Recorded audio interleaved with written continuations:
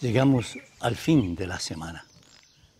Y para este día el Señor, como siempre, nos tiene otra perla en el camino, uno de los bellos evangelios. De San Juan capítulo 11, versículos 19 a 27. En aquel tiempo, muchos judíos habían ido a ver a Marta y a María para darles el pésame por su hermano Lázaro. Cuando Marta se enteró de que llegaba Jesús, salió a su encuentro mientras María se quedaba en casa. Y dijo Marta a Jesús, Señor, si hubieras estado aquí, no habría muerto mi hermano. Pero aún ahora sé que todo lo que pidas a Dios, Dios te lo concederá.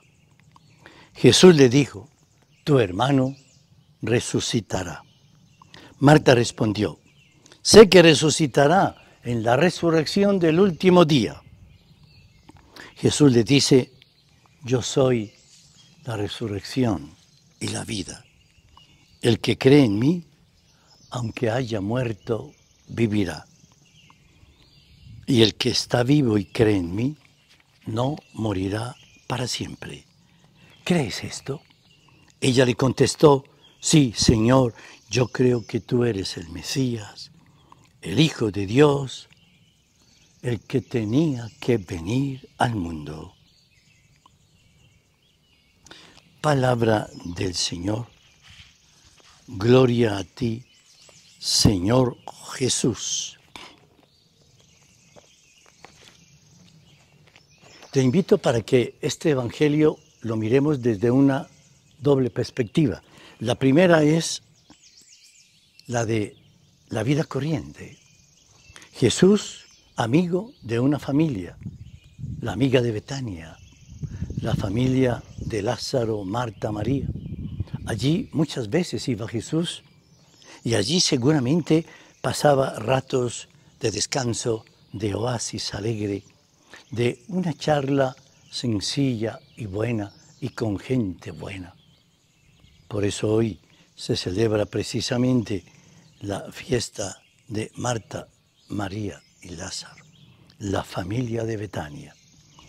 Pero luego hay otra perspectiva y es Jesús el Salvador. Yo soy la resurrección y la vida.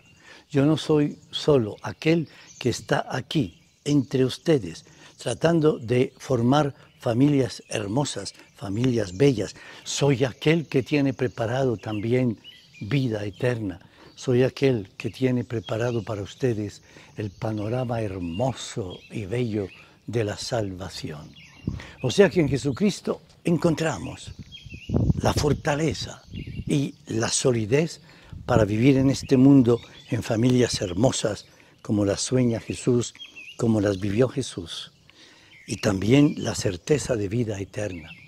Aquella certeza de que cuando moramos como Lázaro tendremos esa vida eterna, esa promesa maravillosa y justa. Qué grande es, Señor, seguirte. Qué fortuna conocerte. Qué alegría, Señor, seguirte. Que nos bendiga el Señor en nombre del Padre y del Hijo y del Espíritu Santo. Amén.